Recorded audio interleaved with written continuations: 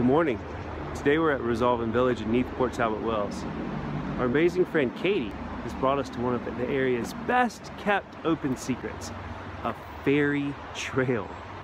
Wales is a mystical land filled with tales of mythical lands and places filled with creatures great and small, stories of alternate worlds intermingled with our own, of portals, strange doors that can only be entered at certain times of year during certain times of special days and unique places.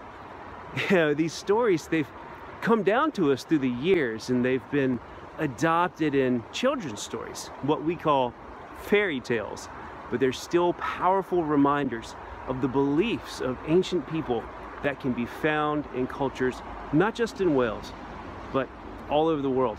And today, we're on the fairy trail, fitted with fairy doors amongst the trees to delight children and parent alike. It's beautiful, it's magical, and it's, it's a lot of fun.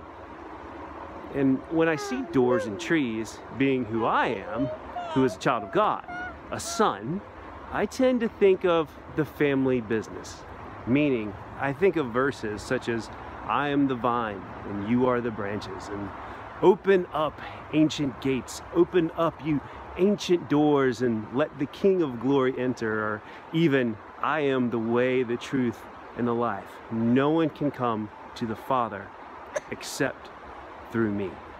And I smile because I know how much my Father loves me. I smile because I know how much He loves you. And I'm thankful that I get to represent and represent the Father as a son and an ambassador of the kingdom of heaven. And I get to represent and represent Jesus to a world that needs him, a world that he loves and came in physical form to redeem. But I want to draw a distinction here because I'm beginning to hear a lot of talk in some Jesus loving circles, and I, I think it's some talk that needs to be addressed and, and maybe just course corrected just a little bit. And this is what I mean. I'm not God, and neither are you. Yes, we are united with Christ. We even have the mind of Christ, but that doesn't make me or you the Christ. It's Christ in me and you, the hope of glory, not me or you in Christ, the hope of glory. he is the vine. I am the branch. I'm not the vine. And if you actually read that verse in context, it says, I am the true grapevine, and my Father is the gardener. He cuts off every branch of mine that doesn't produce fruit, and he prunes the branches that do bear fruit, so they'll produce even more. Hmm, quite a little bit to think about there. So that means you can be a branch, and if you aren't producing healthy fruit, well, zoinks. And then Jesus goes on to say, Yes, I am the vine, you are the branches. Those who remain in me and I in them will produce much fruit. For apart from me, you can do nothing. Anyone who does not remain in me is thrown away like a useless branch and withers. Double ouch. Apart from Christ, I and you can do nothing in the kingdom of God. That's just the truth. It's about Him. It's not about me or you. And yes, when you're all about Jesus, he's all about you. He's all about you all the time, but the kingdom is bigger than you or me. I hear some folks out there saying that we're equal with God since we are united with God. Yeah, I'm hearing it. And you've probably heard it too, just crouched in subtle forms like this. Let's see. Everything Christ is, was, we are now. You heard that one? I was co-created with Christ at the beginning of the world. As he is, so am I. Have you heard that one? Or, I don't have to pray to God because I have his mind. My thoughts are his thoughts. How about that one? You know, let me just go ahead and tell it to you straight.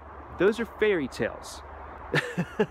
These are ancient, not so good thoughts, slight twistings of the gospel message that can lead to some very wrong pathways and doors full of pride and broken life decisions that can leave a disaster zone in their wake.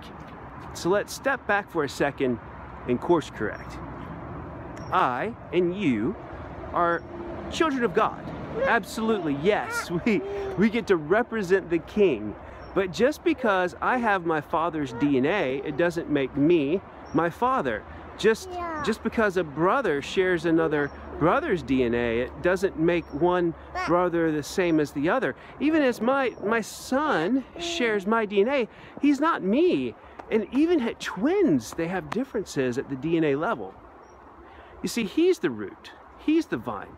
And yes, I am a branch which offers leaves and growth and fruit and, and all that goodness, but I'm not the vine. We are united, yes, but we are not the root. He is. So, yes, I am a son, but I'm not my father. Yes, I'm a brother, but I'm not the brother of all brothers. I am me, and you are you.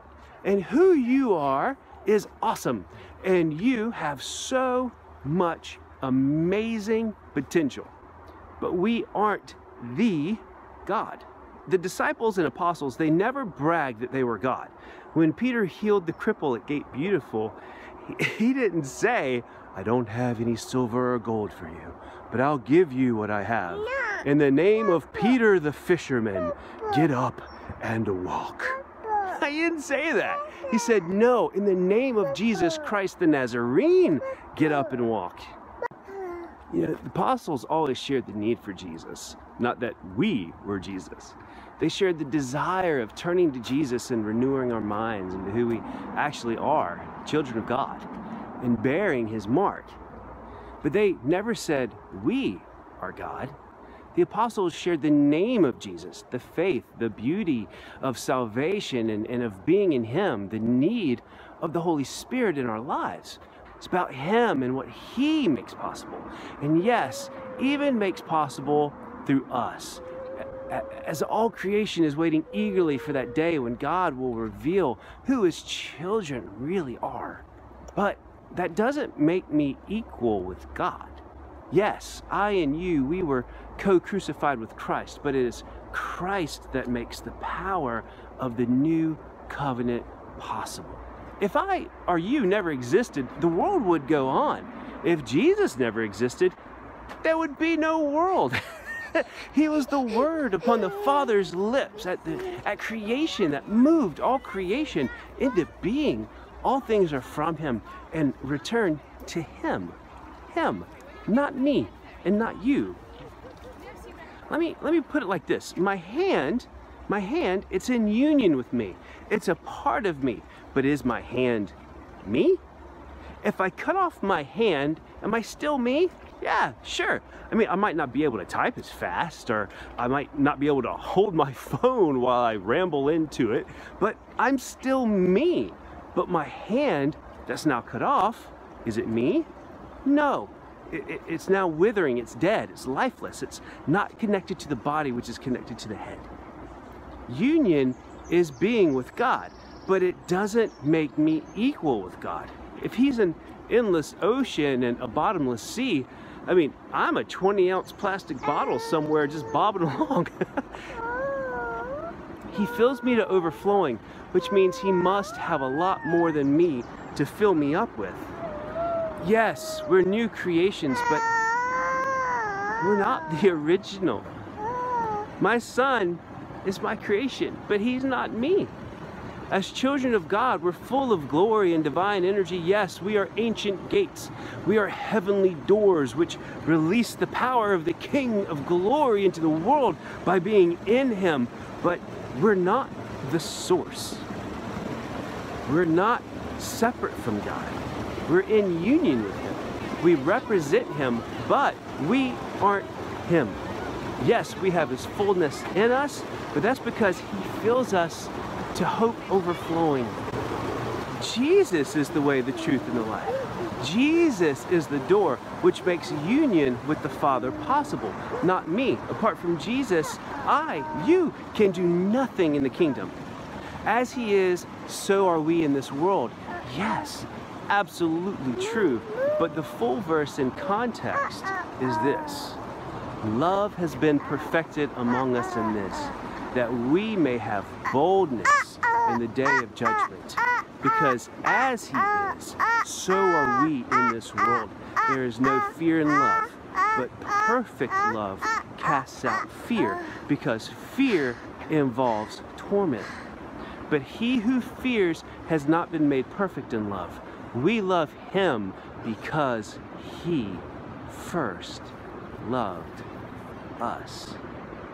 God, Jesus, the Holy Spirit, they, he, are the source. They are the ones wrapped in what Gregory of Nazianzus called perichoresis, the eternal dance of which they have chosen us to be placed within.